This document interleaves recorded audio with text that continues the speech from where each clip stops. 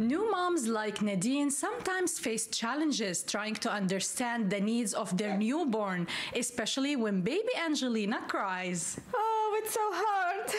Ubenwa, a Montreal based company, created the Nanny AI mobile application to help new moms and dads by recording few seconds on their phones on the app to try to understand why the baby was crying. It's easy and provides soothing recommendations. In simple words, it's the equivalent of the Shazam for baby cries. It's very simple. You open up the application, there's a big record button, you press it, you record a few seconds of the baby's cries, and it's going to give you a probable cause of why the baby's crying. And it's one of four categories at the moment. It could be tiredness, discomfort, hunger, and it could be pain. And then on top of that, it will give you soothing recommendation to calm the baby, also using AI. Hey there, mom and dad.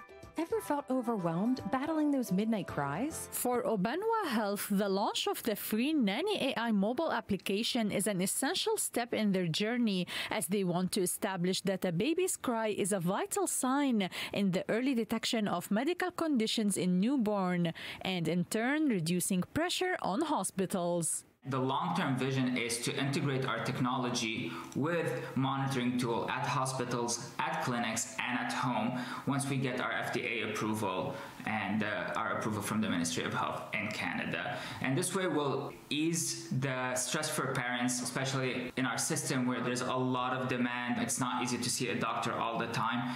To have the reassurance that there is monitoring at home and they will get insights while they're at home. Nanny AI is available in both English and French, and they're hoping to be a virtual baby assistant for new parents. Babies have been telling us a lot through their cries forever, and it's time to listen. So just download Nanny AI and give it a try.